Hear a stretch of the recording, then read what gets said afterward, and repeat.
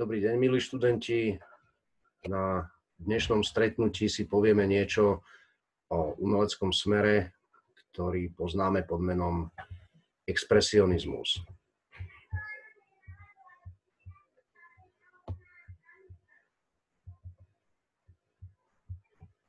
Na úvod eh, máte link na jednu stránku www.vytvarnavýchova.sk, kde si môžete pozrieť niektoré základné charakteristiky expresionizmu, pokiaľ by vám nestačila táto prezentácia. Expresionizmus názov je odvodený z latinského výrazu expresio, čo znamená výraz. Prvé diela, ktoré boli vystavené pod názvom expresionistické, sa otvorili alebo objavili v Paríži už v roku 1901 ale my sme sa už e, s e, takými formálnymi e, prostriedkami, o akých budeme hovoriť v súvislosti s expresionizmom, stretli pri fovizme. A naozaj vo Francúzsku sa expresionizmus udomácnil ako fovizmus a má svoje nejaké špecifické črty. Ten rozdiel medzi fovizmom a expresionizmom je predovšetkým v oblasti obsahu, teda v oblasti toho, čo je zobrazované. A kým fovizmus vo Francúzsku je ďalší experiment s farbami, s divokými, protichodnými, kontrastnými farbami. Obsah zostáva veľmi blízky impresionizmu, takým pohodovým, príjemným scénám, akurát spracovanými iný, inou výtvarnou technikou, než je impresionistická.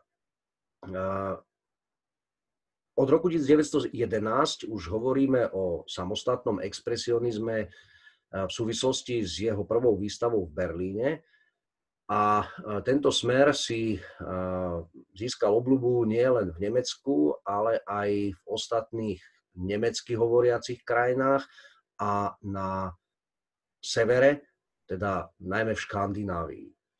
A musíme povedať, že podoby a formy expresionizmu sú veľmi rozdielne. Nejde o jednotný smer, ktorý by mal nejaký jednoznačný manifest, ktorý by vydal, kde by boli jednoznačné princípy definované, podľa ktorých majú autory malovať, ale to, čo majú spoločné vlastne všetci autory, je to, že sa snažia o výrazné veľmi silné zobrazenie citových hnutí človeka a viac si o tom povieme pri ďalších slajdoch.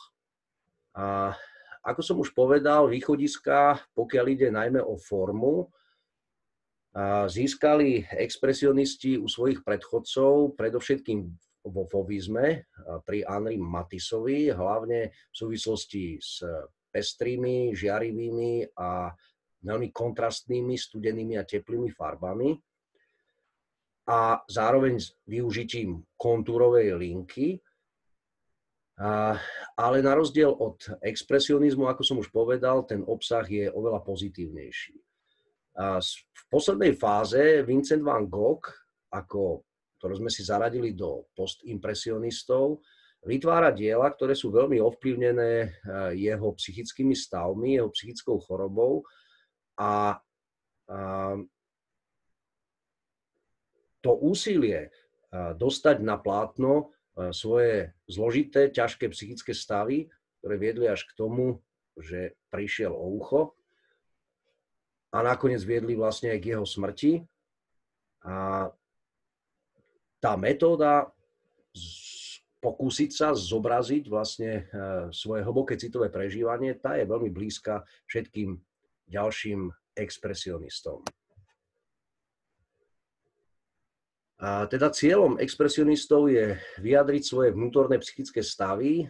A mnoho expresionistických diel je smutných, depresívnych a snažia sa ten pocit, ktorý prežíva autor pomocou farieb a pomocou e, umeleckej techniky nejakým spôsobom odovzdať alebo preniesť na vnímateľa, na diváka. Expresionizmus je často spájaný s pocitmi úzkosti, chce zachytiť, ako človek zažíva svet vo svojom vnútri, vyjadriť svoje duševné stavy.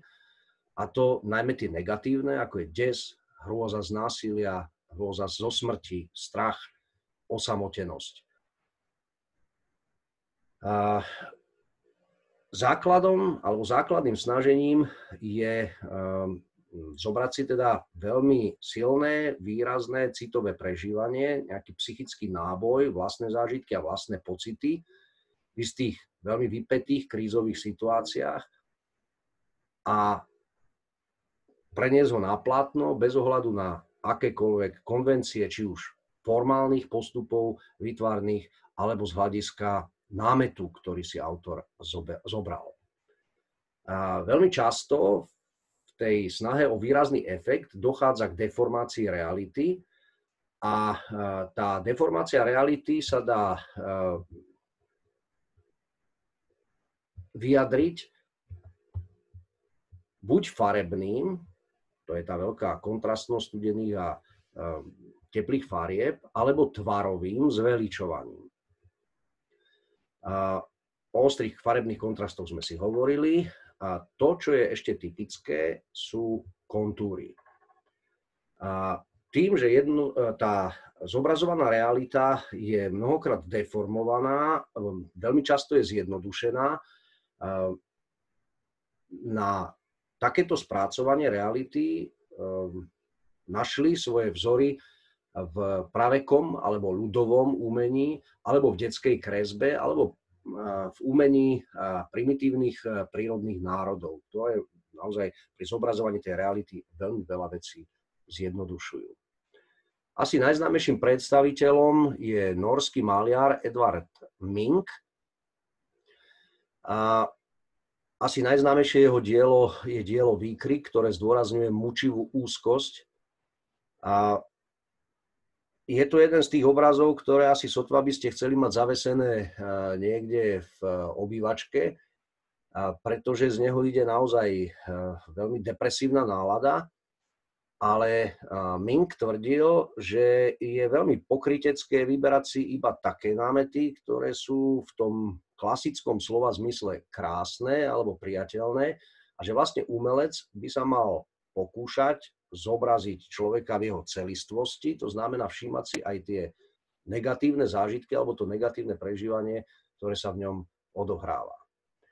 A hlavnou, hlavným cieľom impresionistov bolo zobraziť svetlo a zaznamenať prchavý okamih, a cieľ, ktorý si stanovil Ming, je spodobovať city svoje vlastné a prenášať ich na divákov. Poďme sa pozrieť, ako to vyzeralo v praxi. Na ľavej strane e, je obraz úzkosť, na pravej strane veľmi podobný obraz e, výkrik. A to, čo e, dosahuje týmito obrazmi je spôsobené predovšetkým výrazom tvári jednotlivých zobrazovaných postav, ktoré sa skôr podobajú na akýchsi zombí, než na reálnych ľudí, veľmi vyblednuté bytosti. A samozrejme to, akým spôsobom pracuje s linkou a s farbou, vidíme vlastne zvlnenú líniu horizontu a farebne kontrastne farebne zobrazené pozadie alebo nebo a samotnú krajinu, kde sa na jednej ostrej línii stretáva studená modrofialová farba so žlto-červenou a tie zvlnenia tej oblohy alebo tej vodnej hladiny, ktorá sa nachádza v pozadí, nám veľmi pripomínajú práve krajinky, ktoré maloval eh, Van Gogh na sklonku svojho života, ktoré veľmi silne eh, vplývali na diváka v tom, že eh, vyjadrovali vlastne tú nervozitu alebo ten nepokoj, ktorý z týchto vlniacich sa, vlniacich sa liniek vyplýval. Ďalšie dva obrazy minkové sú zvláštne už nielen tým formálnym spracovaním, ale ukážkou takej nejakej prázdnoty v obraze Izba zosnulého, kde takým veľmi netradičným usporiadaním postav, kde tri postavy sú v popredí a ďalšie sa nachádzajú v pozadí pri lôžku mŕtvého, naznačuje zúfalstvo, smútok, a prázdnotu, ktorá zostala vlastne po človeku, ktorý umrel. A samozrejme opäť tu máme tú veľkú kontrastnosť farieb, a najmä v tom čiernom oblečení jednotlivých postav a v oranžovej farbe podlahy. Obraz Tanec života má svoju symbolickú rovinu. V podstate sa ten hlavný výjav odohráva medzi dvoma postavami. Postavou bielom, ktorá reprezentuje šťastie a postavu v čiernom, ktorá reprezentuje nešťastie a vlastne ľudia akoby tancujú svoj vlastný osud, svoj vlastný život medzi týmito dvoma polmi, a dvoma krajnými polmi života. A ďalším predstaviteľom je Georg Gross.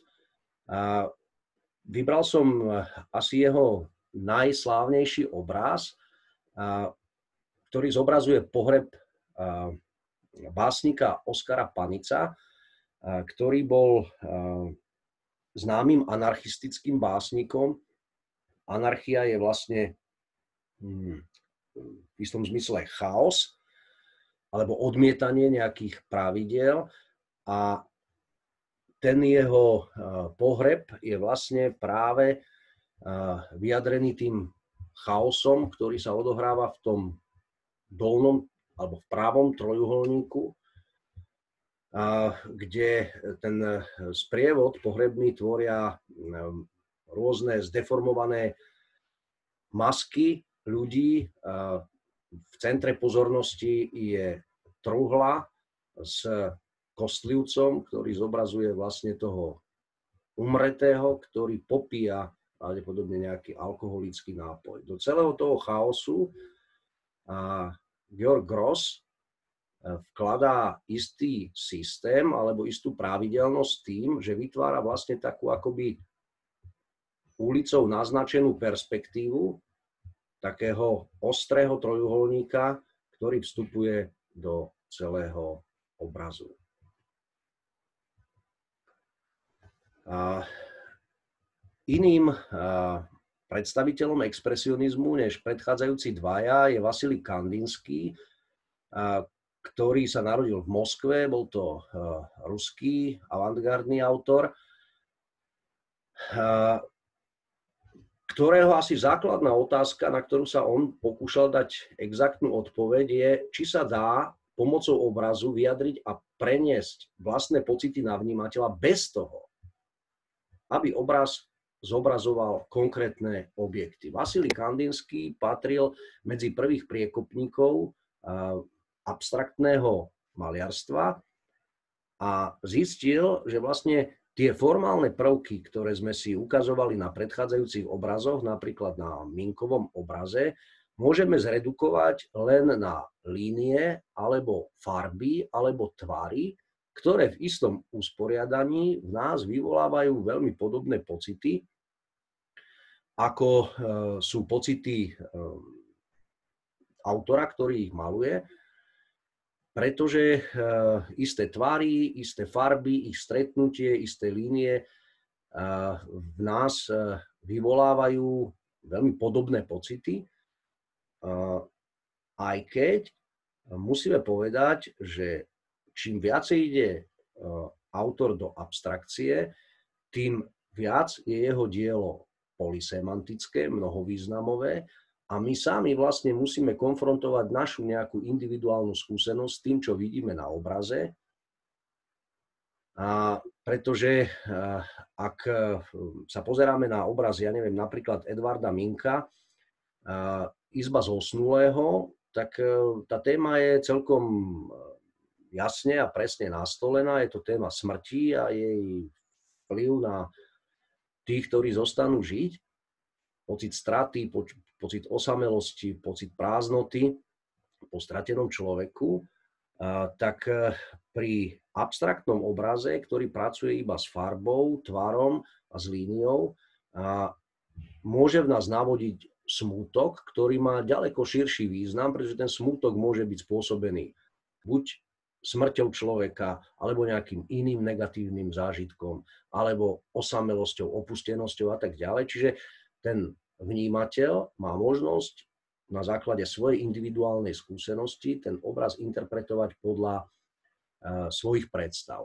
Deje sa v podstate v umení to, o výtvarnom umení to, čo sa deje paralelne aj uh, v literatúre. Ukázali sme si to pri polisemantickej básni Pásmo, kde sa vlastne ten hm, tradičný jednovýznamový odkaz básne mení na polysemantický mnohovýznamový. Poďme si teda predstaviť Vasilia Kandinského. Pôvodne to bol profesor práva na univerzite v Tarte, čo sa nachádza v dnešnom Estonsku. Vzdal sa však e, svojej vedeckej kariéry slubnej a odišiel do Mnichova študovať maliarstvo.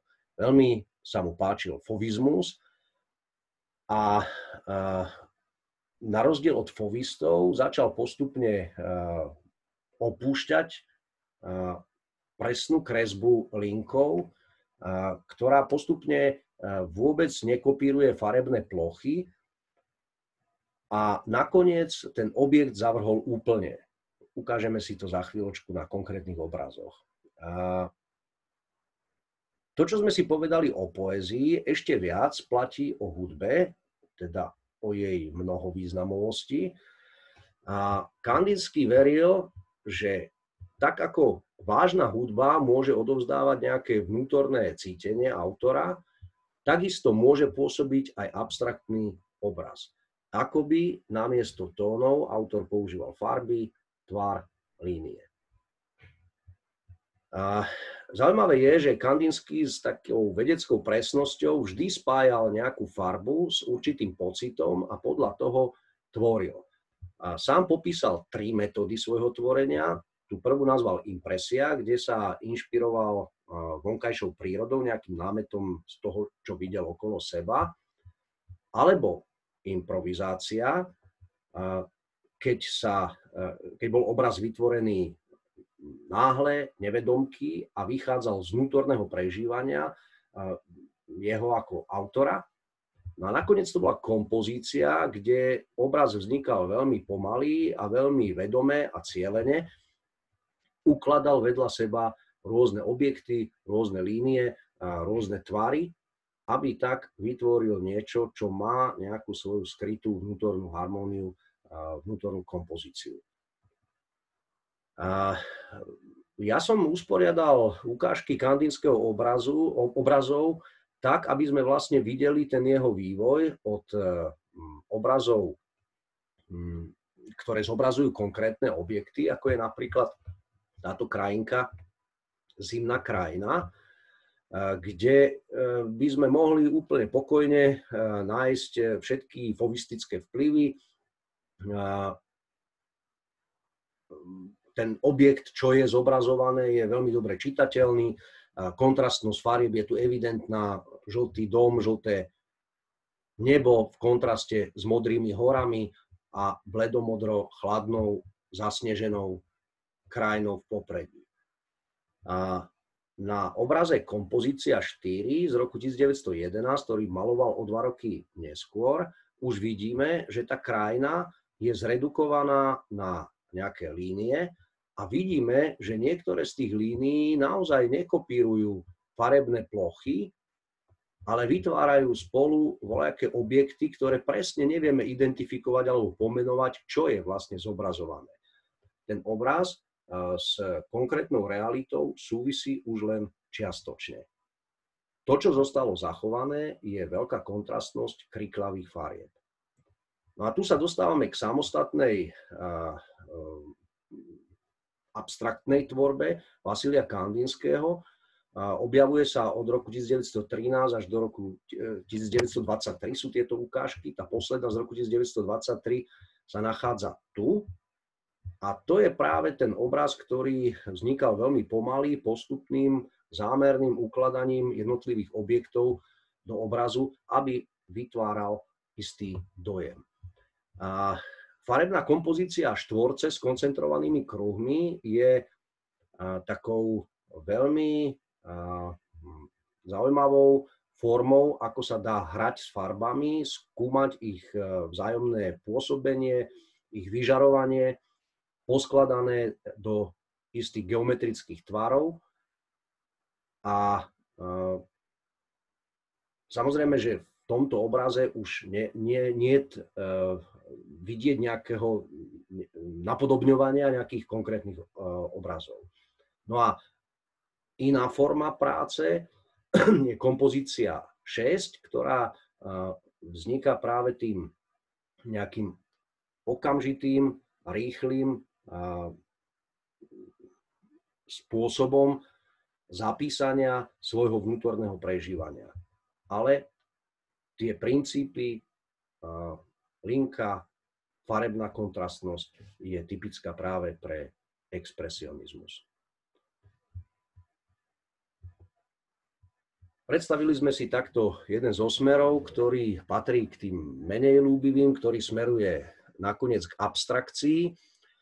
A úplne na záver nášho rozprávania o umení budeme hovoriť e, o pop arte, reprezentovanom najmä Andym Warholom, e, ktorý zareagoval na abstrakciu expresionizmu úplne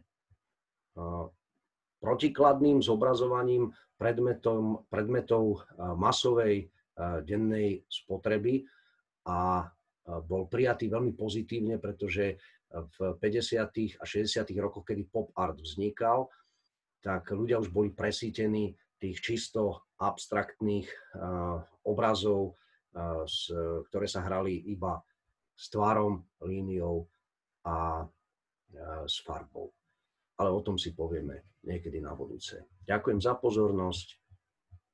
Teším sa na ďalšie stretnutie.